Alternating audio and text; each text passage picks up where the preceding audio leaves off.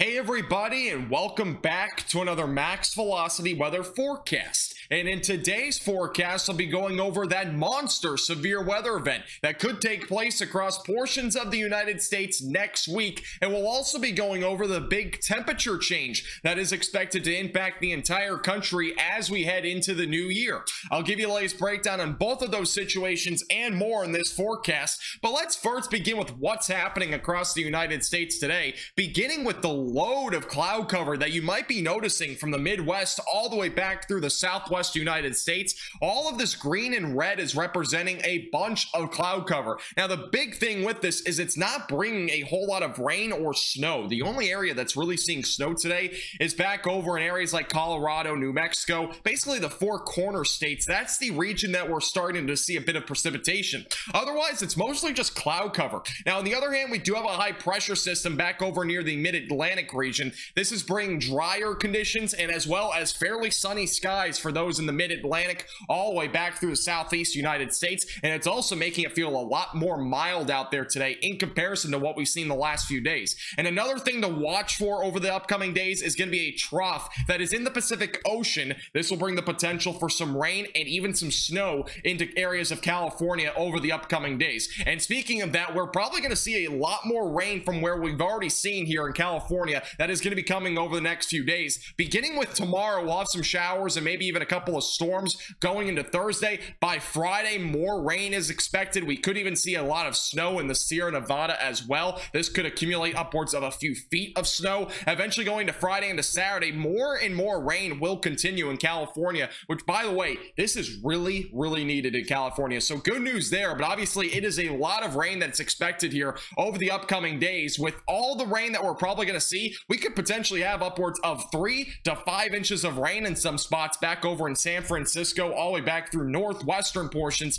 of California. And even in the Sierra Nevada, we could very well see upwards of several inches of rain. Now, over in Colorado, as I mentioned, there is some snow going on over here, and this will continue throughout the day today. We may see even some heavier snow pick up near Denver, Colorado by this evening. This could accumulate to a few inches of snow. We might even see upwards of a foot of snow in a couple of areas. During the overnight hours tonight, that snow will move off to the east, so lighter amounts are expected after midnight tonight, and eventually going into tomorrow morning. All of Colorado should dry out with maybe an isolated flurry still remaining. What does this mean in terms of snowfall totals? Well, many areas near Denver could see upwards of 6 to 10 inches of snow, while maybe a few areas getting over a foot of snow is not out of the question. And for those that want to go skiing, it looks to be very nice because, again, a lot of snow is going to be coming out of this, so skiing conditions should be prime after today. Now, with all this being said, there are bigger concerns in terms of things like severe weather over the upcoming days, and that will begin as early as tomorrow across portions of the southern plains. As that trough comes out of areas like Colorado, it will begin to have some rising moisture out of the Gulf of Mexico. That could fuel the potential for some severe weather, maybe even a little bit of light to moderate snow as well on the northwest side of that trough, back from Minnesota, even into areas like western Kansas. But again, severe weather is a big concern heading into tomorrow. We may even see some storm activity heading into Friday and eventually going to Saturday. We could begin to have even more storm activity roll through the mid-Atlantic regions and maybe even into the New England region. And eventually going into next week, we have an even bigger concern, and that is a much stronger trough. This will be the potential for a severe weather outbreak in terms of maybe damaging winds, large hail, several tornadoes may all be in play next week as this trough begins to strengthen over the southern half of the United States. And not just that, this could also bring the potential for a winter storm from around Kansas and maybe western Oklahoma all the way back through the Midwest. It's kind of early to get into specific details in terms of snowfall and whatnot, but definitely something to watch out for heading into next week. But beginning with tomorrow, there is a marginal threat for severe weather in southern and southwest Arkansas,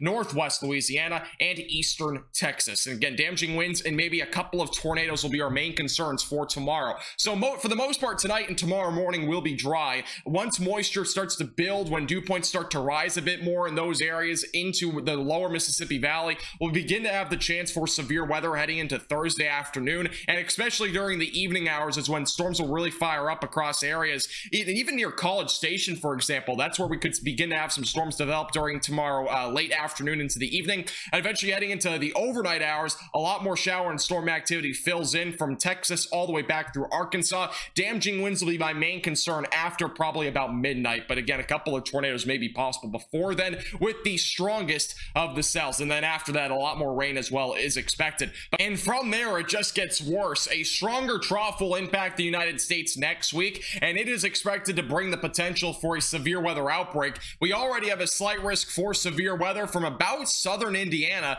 all the way through areas in East Texas. So a very large area that we're watching heading into next week. All modes of severe weather do seem to be possible at this time. Again, this is a closer look at it. So most of Arkansas is included in this, as well as Western Tennessee, Western Kentucky, and even Southern Illinois are included in that potential. Beginning with the southern plains on Monday, most areas will stay for the most part dry during the early morning Monday, but storms will really start to ramp up during the early afternoon hours, right around lunchtime for those back in East Texas, all the way back through the lower Mississippi Valley, and eventually going into the afternoon and evening, storms really begin to ramp up from about Louisiana all the way through southern Illinois. We could even see a little bit of snow back over in extreme northern Oklahoma and through Kansas. This could potentially ramp up into a winter storm eventually going into late Monday night to Tuesday morning, all that storm activity shifts off to the east. And also your timing back over into the Ohio Valley. Storms ramp up again during Monday afternoon. Eventually by the evening and overnight hours, a lot of showers and storms. Some of these could be severe, but the further north you go, the lower chance you'll have of severe weather. And again, at the top left of your screen, that is your low pressure system controlling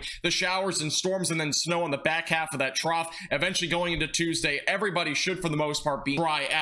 And also, the temperatures heading into the new year will be much warmer than usual. We'll have well above average temperatures for the most part across most of the United States to begin the first week of January. From there, will we have an Arctic blast maybe just like we had in December? That's a big question mark, but we'll keep you posted if anything does change as we head into the first week of January. This forecast is brought to you by Platinum Contracting.